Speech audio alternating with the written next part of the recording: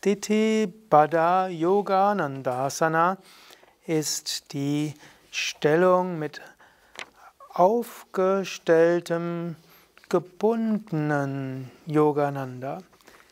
Stiti heißt fest, aber auch aufgestellt.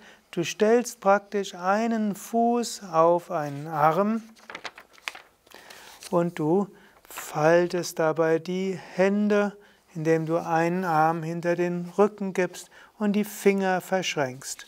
Stiti Bandha Yoganandasana, die Stellung genannt nach Yogananda.